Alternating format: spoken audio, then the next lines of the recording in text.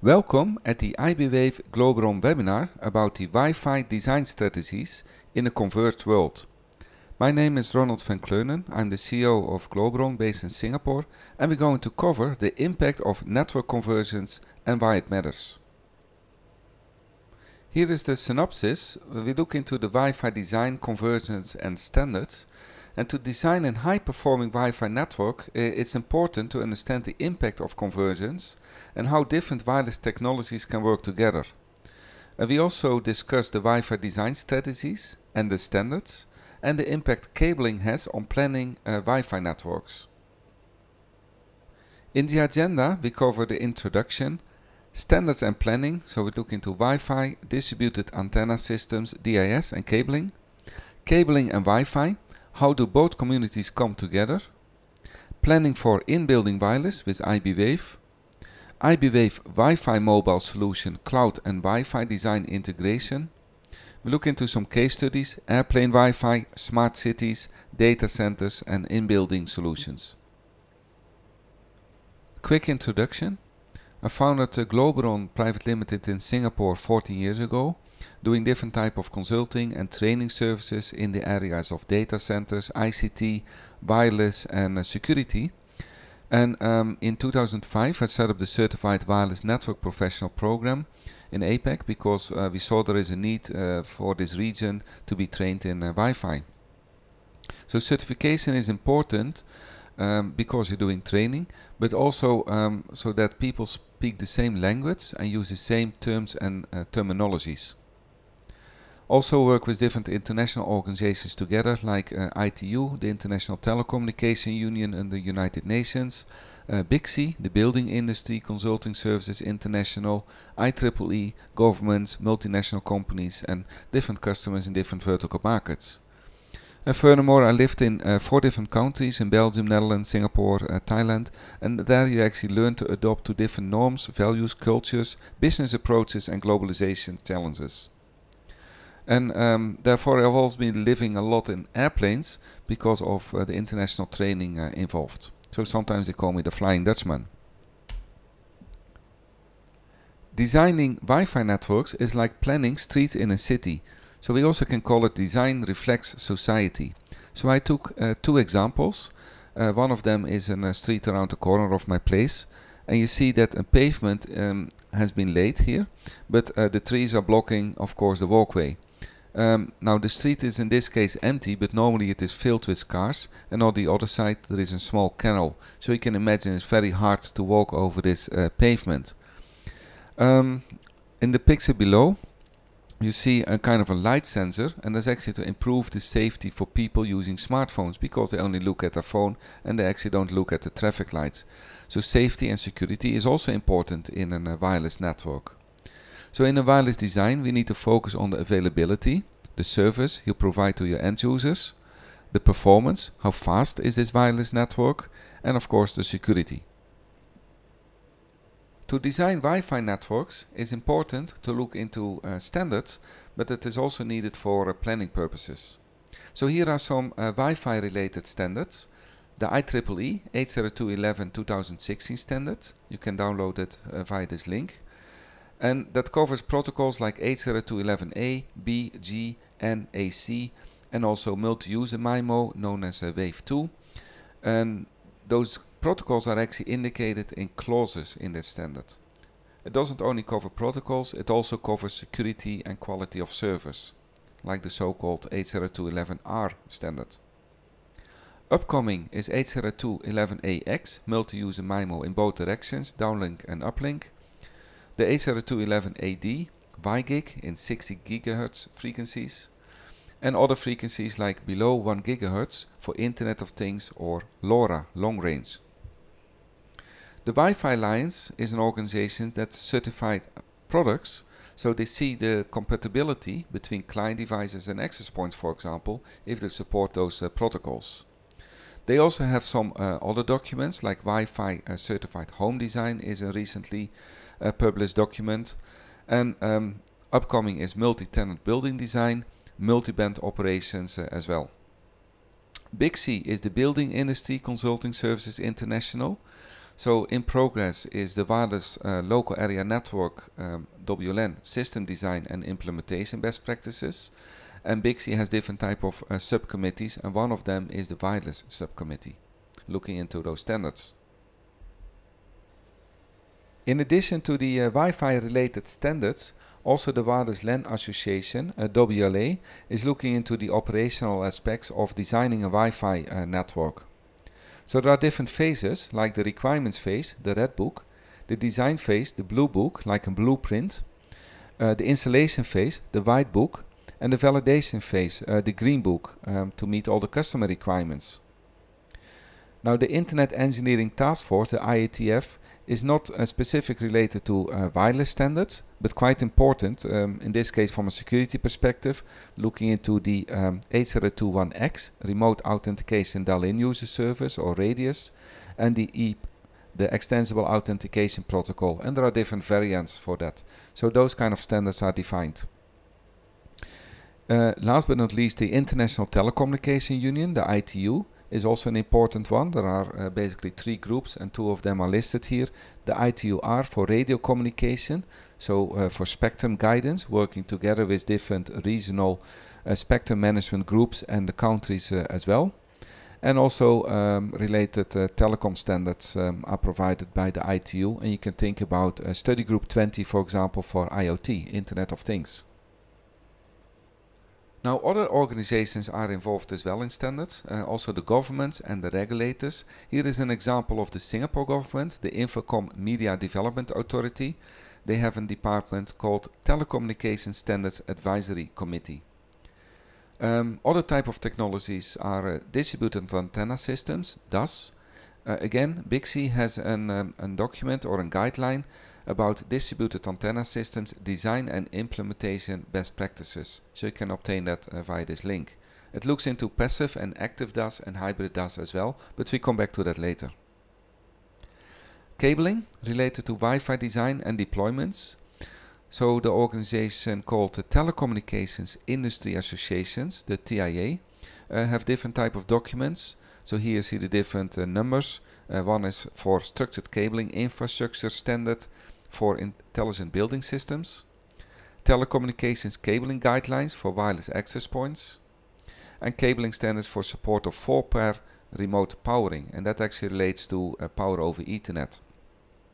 So also the IEEE has standard for power over Ethernet, the 802.3 2012 clause 33, which is uh, power over Ethernet PoE, also known as 802.3AF, type 1, then there is type 2, which is PoE plus 802.3 AT. And uh, two new upcoming PoE standards, the 802.3 BT type 3, which is PoE plus plus, and type 4 is 4 pairs uh, PoE, power over Ethernet. Then we have also the NEC 2017 handbook, which have also some um, guidelines on cabling. Here we continue with the cabling uh, standards but with the increasing uh, demand of uh, Wi-Fi clients connecting to access points, uh, the technology evolved on the wireless side as well to provide higher speeds, higher data rates uh, to the clients. Now therefore we also need to look into the backhaul uh, speeds and capacity. So if you go to this website of the Ethernet Alliance, you see some more details about the 2.5 uh, gigabits per second over category 5E cabling, as well as 5 gigabits per second over category 6 cabling. Similar at the NBASE T Alliance, where you can find more information about those uh, data rates and speeds. And eventually that will be um, adopted in an IEEE standard as well, the 802.3BZ, where you can find more information about uh, those backhaul capacity. That means of course that the access points need to support those speeds, but also your switches or your PoE, your power over Ethernet switches, to support uh, these type of uh, speeds or data rates between the switches and those access points. Furthermore, um, Wi-Fi and cabling strategies, which we also cover uh, partially in this uh, webinar. But if you want to find more about that, you can go to this uh, presentation which was held at the BICSI Winter Conference. That was a presentation I did. Who is actually designing your wireless network? Is that the cabling or the wireless designer?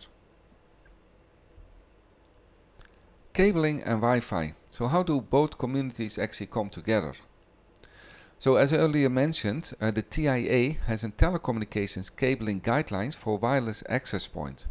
And what you see here in this uh, picture, um, on the right side we see the um, equipment, the switch in the uh, telecom room uh, that need to support power over Ethernet and supporting the right amount of power over Ethernet. And then um, we actually lay cables uh, throughout the building. So imagine a very large uh, shopping mall, for example, uh, where all the cables have to be pre-laid. So you can actually follow a kind of a grid structure where the telecom outlet uh, gets terminated and from there you can actually extend the cable uh, to the Wi-Fi access point and can actually be laid in different directions with a kind of, in this case, 30 meter radius or 42 feet. Often a question is asked, how many cables do we need to lay to uh, an access point? Is it one cable or two cables?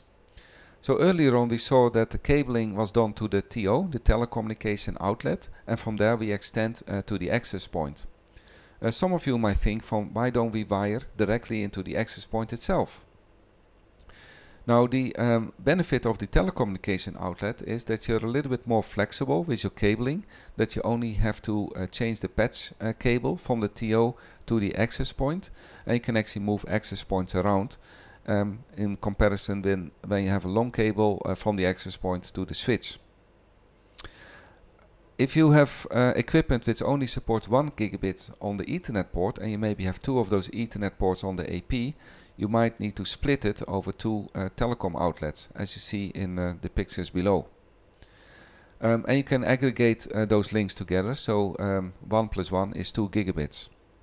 Now with the newer uh, standards coming up, as mentioned earlier, the 2.5 gigabits per second and the 5 gigabits per second, you, you might only need one cable to the access point if that access point supported, but also the PoE switches, the power over Ethernet switches support that type of um, technology. One thing to take into account is also the um, category um, type of cable you use. So Cat5e to support the 2.5 gigabits and Cat6 for 5 gigabit connections. Not only uh, Wi-Fi access points need to be uh, uh, powered, uh, there are more devices in an organization that require power. So think about uh, thin clients, alarm systems, uh, pen, tilt, zoom cameras, information kiosks and so on. And each of those devices has a demand for a certain amount of power. So there are different type of PoE types. So power over Ethernet, type 1, type 2, 3 and 4.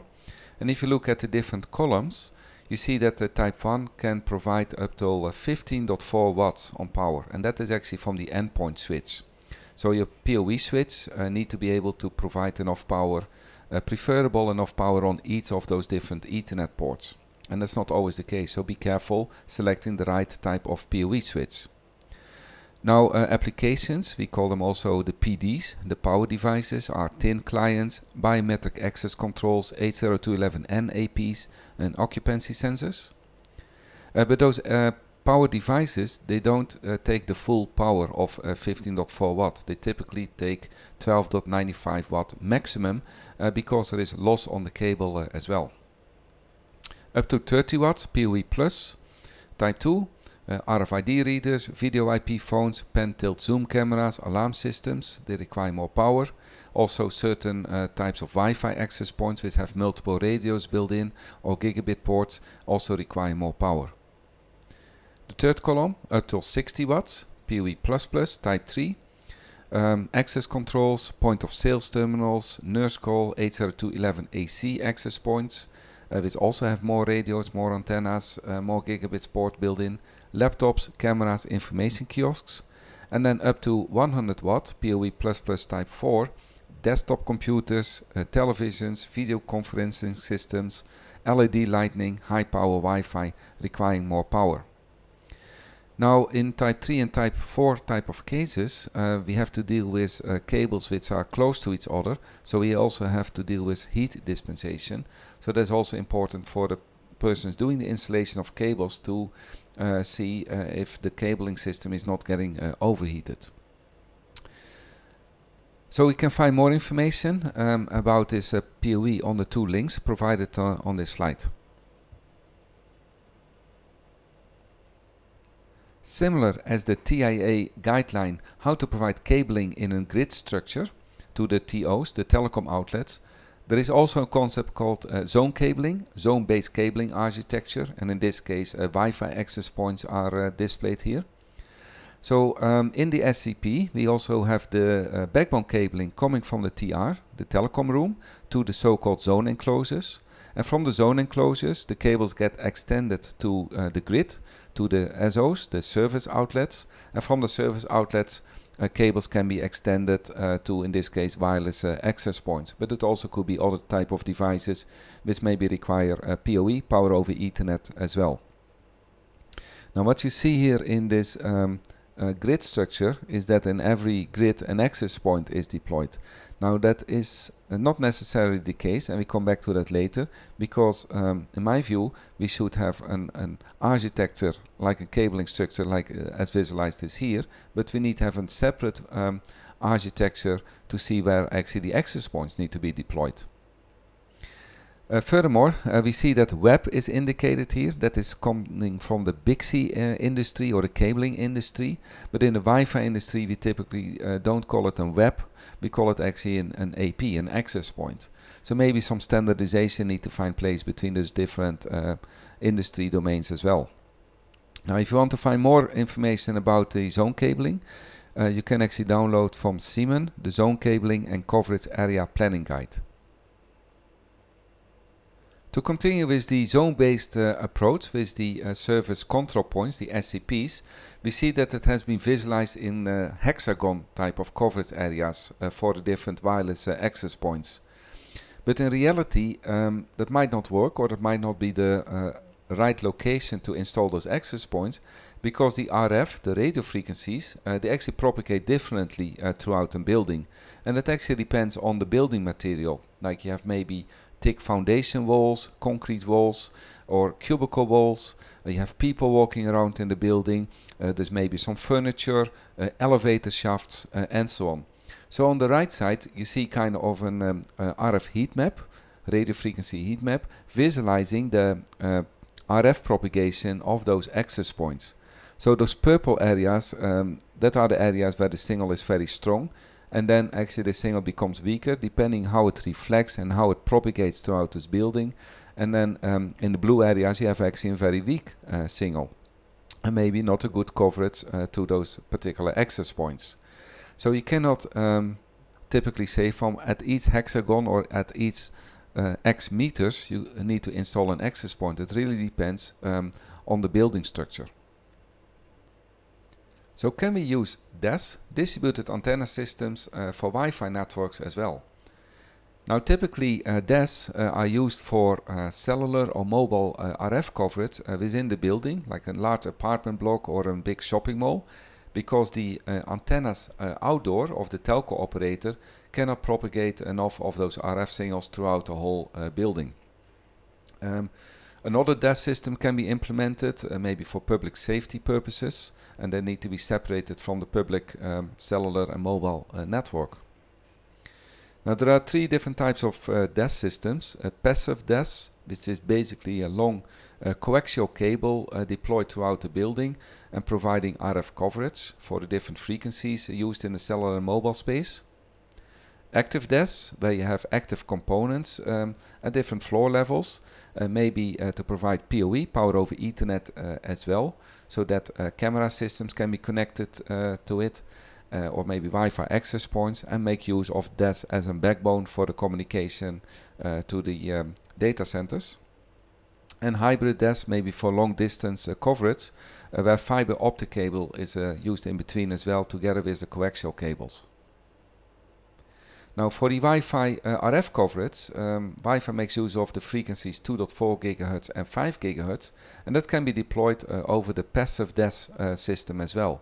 So from a coverage perspective everything looks quite okay and if you do a validation with a single client everything looks okay with the communication to the Wi-Fi access point but um, the problem will grow the more clients will be connected to this, um, to this system. Because if you have Wi-Fi clients on the 12th floor, for example, and Wi-Fi clients on the 5th floor, then they can actually not hear each other transmissions. And that is actually a kind of a problem in the Wi-Fi protocol that um, all the clients need to be able to hear each other um, and that's a so-called um, frame coordination function to be able to communicate um, correctly to that Wi-Fi access point. So what we now created uh, are actually hidden nodes. So those clients at the 12th floor and on the 5th floor cannot hear each other. So they transmit um, and uh, the frames appear at the Wi-Fi access point and actually get discarded. An alternative could be uh, to connect Wi-Fi access point to the active DAS system but that is not much different from an, uh, a Wi-Fi design because now we have uh, real Wi-Fi access points connected to the DAS systems. The only difference is that you don't uh, have a dedicated Ethernet cable but you make use of the DAS system as your backhaul so it can maybe save on your cabling infrastructure. Now I don't know exactly what are all the backhaul speeds if you um, connect many of those Wi-Fi access points uh, to the DAS system, what kind of throughput you will have uh, back to the data center. And it will be similar for the hybrid uh, DAS systems as well. If you have active components with PoE um, uh, connect connectors to provide uh, power to those Wi-Fi access points. So now we're going to look um, for the planning phase for in-building uh, wireless with iBwave. And the focus is actually on the integrated project management from Wi-Fi design until installation. Here is a demo of the iBwave Wi-Fi design tool. Uh, we loaded a file already, the demo conference hotel. Uh, is quite familiar to a lot of wireless professionals as a lot of conferences are held here in Phoenix, uh, Arizona.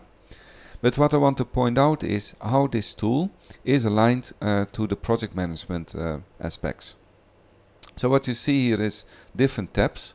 So if you click on the cover page, uh, some of you might recognize this hotel. And um, at the bottom there is kind of project management um, information. So typically in the civil engineering and in the building construction industry, they require this type of information like uh, the contractor's logo, uh, the title of the project, uh, the name of the contractor, the address, uh, the designer and the date. Now if we go to the next tab, we see a design plan and this hotel has apparently three uh, floors. So here is floor number three, floor number two floor number one. And what you see on those different floors are um, um, the network equipment, like the switches, uh, also the cabling to the different access points and also different channels for those access points. And you see that one cable is missing uh, here in this design. But um, how do we actually know um, how the cables need to be laid to those different uh, access points, as mentioned uh, before in uh, the seminar? So uh, let's continue here with those steps. Also additional images can be uh, added to the project plan. So here you see a scanned image of the hotel uh, floor plan, including all the different uh, room numbers. Um, but if you have an AutoCAD drawing, you can also import the, um, uh, the AutoCAD drawing because it has the building material elements uh, in it. And then uh, you can assign attenuation levels to the different um, material. If it is a concrete wall, a brick wall, um, window or and so on. And then you assign the attenuation level so that will help in the RF propagation where you want to uh, place those uh, access points. Now if you move on we see the different floor levels here. So we see floor uh, 1, floor 2 and floor 3 and if you um, um, import a uh, Google Maps um, top-down view you have an indication how the hotel actually uh, looks like including the swimming pool here in the middle and on the right side we actually have um, the hotel uh, building again. But uh, this one has been modeled. So here under the modeling tab you see um, you can actually draw walls manually as well on this uh, scanned image. And uh, each of those different uh, material has an attenuation level. And that uh, is important because if we place access points on the drawing it will take that into account to show how far actually that RF signal can propagate. Um, before we go to that, if we um, look in this in this drawing, you see here, for example, an, a network switch, and here we see all different type of access points placed on the drawing already manually, and um, you see the blue lines. The blue lines are actually uh, the cables, okay, the cables between the switches and uh, the access points, and it indicates uh, the length as well. And that's important because to provide a certain speed or a certain data rate, like uh, the 5 gigabits we talked about or the 2.5 uh, gigabits, um, you require maybe Cat5e or Cat6 cabling. And uh, it is also limited to a certain length uh, between those switches and uh, those access points. Now typically for Ethernet cables there is a length limitation of 100 meters but think about uh, your routing of the cables uh, to make sure that they can reach those access points. Now how do we actually uh, know where to install those different Wi-Fi access points? We need to do um, a kind of a prediction. Now in this case the access points have been placed manually on the drawing but um, on the um, on the right side here we have an option called prediction and already all the calculations have been done already but here is an option called prediction where you can actually run uh, the prediction for 2.4 and 5 gigahertz. But let's go to the end results uh, now. So I can actually click here on 2.4 gigahertz and you see that um, all the colors appear in this um, in this drawing. Okay, and what that means is um, the colors, uh, in this case purple, means that the signal is very strong around this uh, access point and weakens into those areas to a lighter color if you're further away from the access point. Um, that has an impact because the clients connecting to those uh, Wi-Fi access points in those um, other areas like the yellow areas or the blue areas um, they have actually a very weak uh, signal to the AP and because of that weak signal uh, they will communicate at a uh, slower uh, data rate or a slower speed between uh, the client and, and the access point and vice versa so that has an impact. Um, so that is actually from an RF coverage uh, perspective. It is also possible to um, draw areas around a certain um, uh, area and uh, to indicate uh, the capacity. So for example in a conference room uh, over over here or, where, uh, or at a reception where a lot of people gather together you might want to have more access points in those areas. Okay, so that's why we have here a tab called capacity planning to indicate also um, at that particular area how many clients do we expect at that particular area. Hot, that's uh, called the so-called hotspot zones. Um, in addition to the prediction, we also also have all the different parts here. Uh, this is also quite uh, interesting from a uh, planning perspective. So we have, have here the single uh, sources. Single sources that means the um, the the access points itself. Okay, so you can select the different manufacturers here. If you're using, in this case, Aruba, or using Cisco, or using Extreme Networks, or or Ruckus, uh, any of those uh, access points and different types are uh, built into this tool already. So that takes into account the RF propagation and the antenna propagation of those uh, access points. Now if you want to make use of um, um, external antennas, you have here uh, different options as well, like uh, single input, single output, omnidirectional or uh, directional antennas, or multiple input, multiple output, omni and directional antennas as well. So I can, for example, select uh, this one. And then we see, um, let's select one of those antennas over here, you can actually view the patterns of those uh, those antennas. So you can actually tilt them and you see um, the RF propagation for this particular antenna. Let's select another one here. So you see that the, the patterns are uh, different for what type of antenna you use. So let's select another one um, over here. See how this one looks. So you see the RF propagation can be visualized uh, here.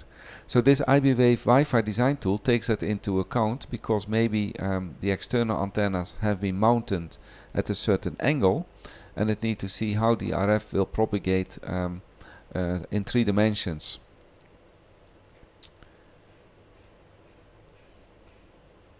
Um, also cables um, are indicated here so if you need to run coaxial cable or you need to run uh, fiber cable or twisted pair ethernet cables um, fiber optic hardware can be indicated as well dus the fiber housing, the patch panels uh, the network equipment here, the controllers, the routers, the switches So from a project management perspective, um, you want to know the bill of material. So it is quite important that you um, have all those details like the antennas, the cabling, uh, the uh, network equipment uh, as well. So that you can actually uh, give a total picture um, to the end user when you uh, design a uh, Wi-Fi network. Um, what's also possible is to visualize this building in 3D. So there is here a 3D plan. So if you click on that, you can actually see now the floor plan and you can actually tilt it in, uh, in 3D.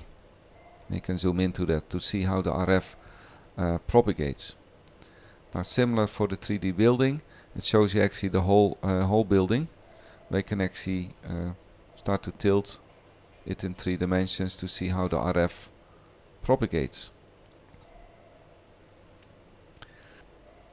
Furthermore, you can do the reporting uh, under this tab over here where you can actually select different type of reports which are um, design related uh, proposal related and installation uh, related so you see the different phases coming back from a project management perspective so if, for example if I click on the access points then I can uh, select all those details here and I can add additional information like transmit power to the report column as well and then um, I export the report now, so it takes some time to calculate it.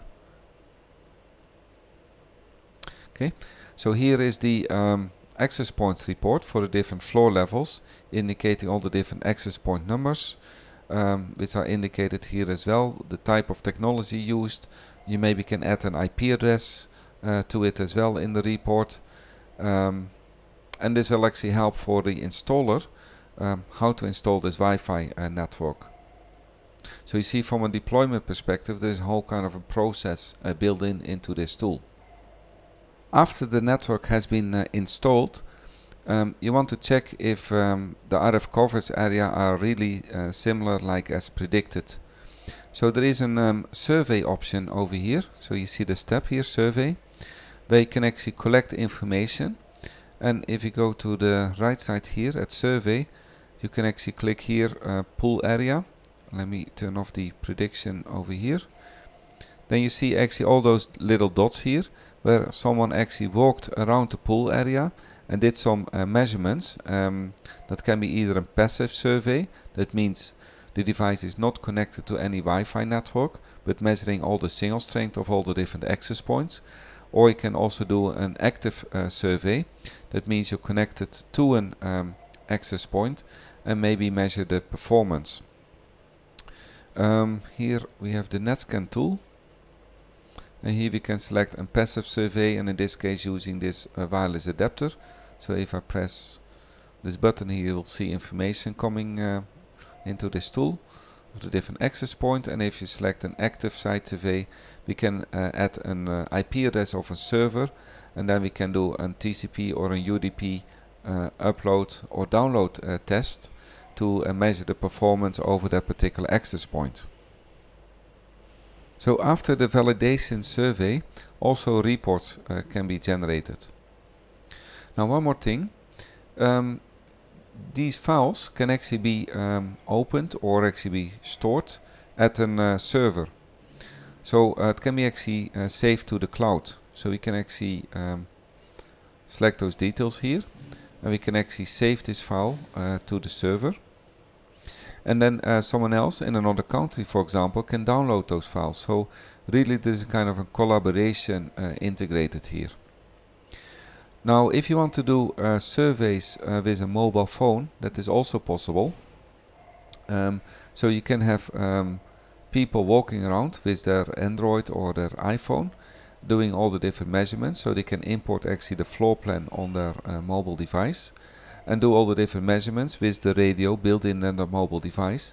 They can upload it to the cloud and those uh, survey data can actually be um, downloaded um, at the central office.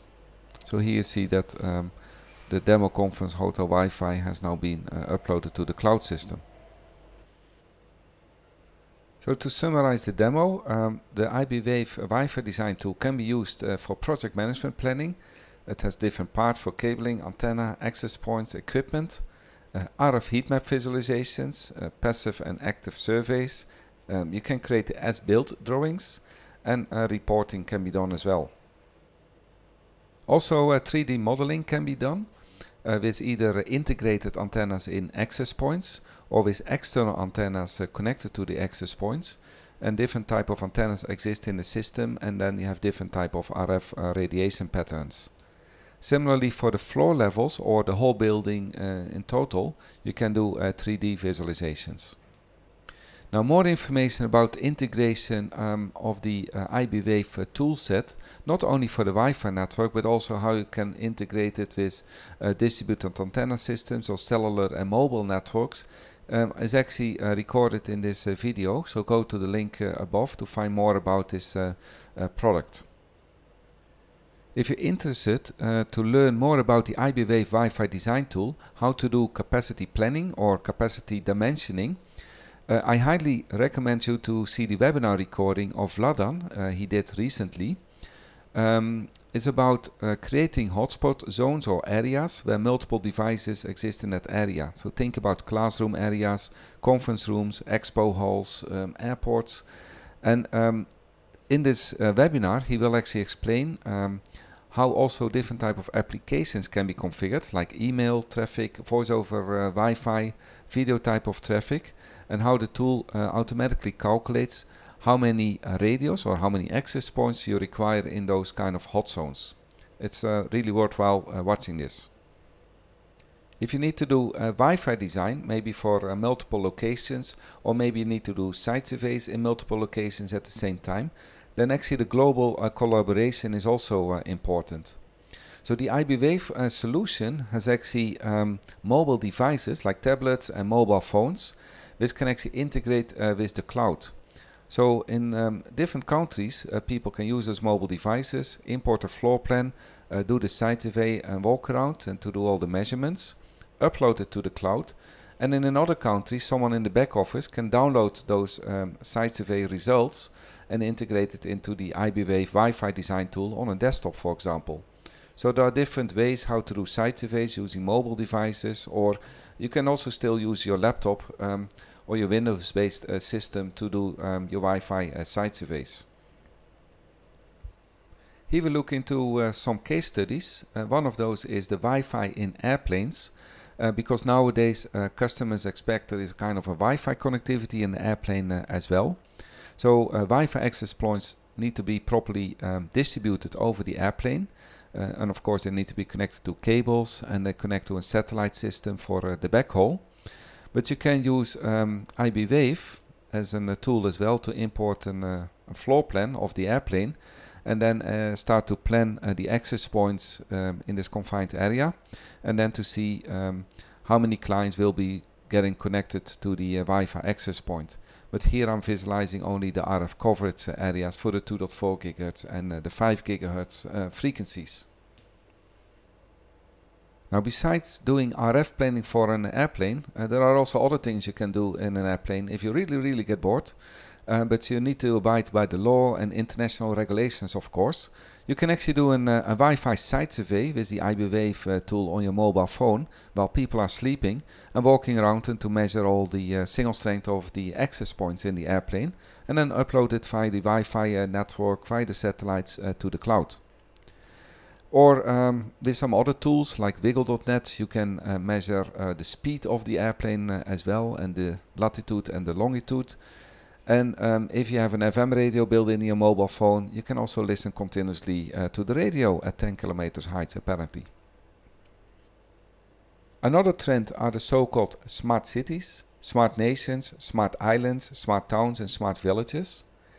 Singapore is a so-called uh, smart uh, nation because it is a city-state and um, there are a lot of wireless services getting deployed throughout the city. So think about public Wi-Fi networks, um, Wi-Fi networks at transportation systems, at, at stations, um, in buildings, um, in shopping malls uh, and so on. And it becomes quite challenging because in high density cities where all the RF leaks in each other buildings, um, it is difficult to find um, uh, frequencies available uh, to use all those wireless services. Now also with the growing demand of the IoT, the Internet of Things, from a planning perspective, it can become uh, quite challenging as well because there might be not enough capacity uh, available, like airtime capacity or um, access points would need to be placed to handle all those uh, amount of traffic of those different devices. So that is um, something to take in uh, the back of the mind if you are uh, doing designs for uh, networks where a lot of devices are coming together. In the data center space, also uh, more wireless services are required. So you can think about the data center augmented uh, reality, like the person on the top uh, walking around with a virtual reality uh, device to get real-time uh, status updates of uh, the operations in the data center, of the different services which are running over there or maybe with tablets um, uh, via the wireless network obtain uh, information about um, equipment uh, operational in the data center and to understand the status or maybe doing configurations via this wireless network. Now you can imagine uh, in a data center where you have so many uh, metal racks uh, that it can become quite challenging uh, to do proper um, wireless distribution of the RF uh, signals. So proper planning need to be done, uh, the right type of antennas need to be um, selected to propagate the RF uh, throughout the building. Now, in addition, we also need to look into security aspects because your data center is kind of an, a very important uh, area where a lot of uh, company confidential information is uh, stored. So you don't want that information leaks out via those wireless network to the outside world. So you have to think about the security monitoring aspects or maybe doing some RF shielding on the outside of your data center. But basically in every uh, vertical market, uh, in buildings like offices, you require uh, wireless uh, services because people expect there is a wireless network uh, available for the laptops, the tablets, smartphones, for voice over Wi-Fi communication. Similarly in uh, shopping malls, people maybe expect there is a public Wi-Fi network available, but also um, the building owners, they maybe want to have some uh, monitoring uh, systems in place, maybe to do uh, location tracking um, or how people actually walk throughout a shopping mall. Similar in uh, supermarkets, uh, you get integrated uh, consumer behavior where people can buy products and integrate it with certain applications. so they have faster checkout in the supermarket, or also the supermarket can do geofencing throughout the um, uh, supermarket to see from how many people enter that area uh, in a certain amount of time, how long do they stay in that area, and then they can sell actually the shelf space for a higher amount uh, to uh, the different vendors who um, want to uh, view and show their products uh, on the shelves. Now different vertical markets also require Wi-Fi connectivity, the transportation sector like to provide Wi-Fi services in trains or in buses, government and public Wi-Fi networks, uh, the energy sector, maybe to the monitoring of certain equipment um, uh, in the operational environment. Uh, in the healthcare sector, maybe doctors having tablets using a wireless network to do um, consultancy to the patients in the um, in the hospital. Uh, the hospitality sectors, the, the hotels and so on, requiring uh, wireless uh, networks. Otherwise, um, customers don't book the hotel to stay there if there is no wireless network. Uh, building and real estate, uh, as mentioned before, education sector, telco ICT, and the manufacturing um, and supply chain uh, as well, who require wireless network. So um, I think it's important to use um, design tools, predictive design tools, even when those buildings are not built yet, to better understand how to lay the cabling and how, where, and how to install the access points in those buildings. So when designing Wi-Fi services, always focus on the end user needs and, and the end user experience using those Wi-Fi services. So number one is always the service availability because the Wi-Fi services need to be available to the end user. Service performance because if the network is too slow, the end user is not happy as well. And of course the data or the voice communication or video communication need to be secured. But um, security um, always has an impact on the service performance because information need to be encrypted and decrypted. So you need to see how those three components actually work well together in your Wi-Fi design. So now it's time for the questions and some of those questions were asked in advance already. How do you uh, verify the design after the implementation? Now in the iBwave Wi-Fi design tool there is a site survey option you can actually do a walk around uh, with a laptop or a mobile phone and you start to measure the signal strength of those um, um, access points. So you can actually see how well the RF coverage area is of that particular uh, wireless uh, network. Now that doesn't mean uh, your wireless network will perform well because more and more of those devices in that same area have also an, um, an demand on the capacity of this Wi-Fi network. So that need to be um, validated as well with multiple devices. Question 2. So what are the expected trends of Wi-Fi design in the context of future 5G?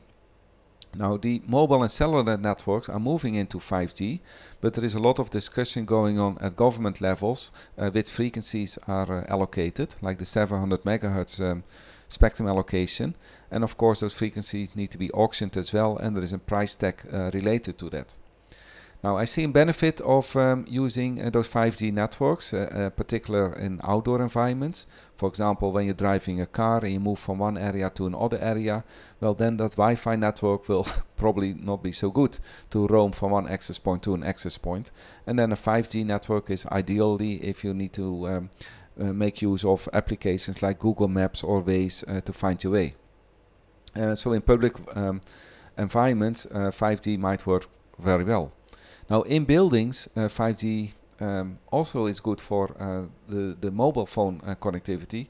But if you're uh, running your own operations in a, in a building, like a hospital for example, then I can imagine that not all those patient information and all those other data will flow over this 5G network all the way to the telco and back to this hospital.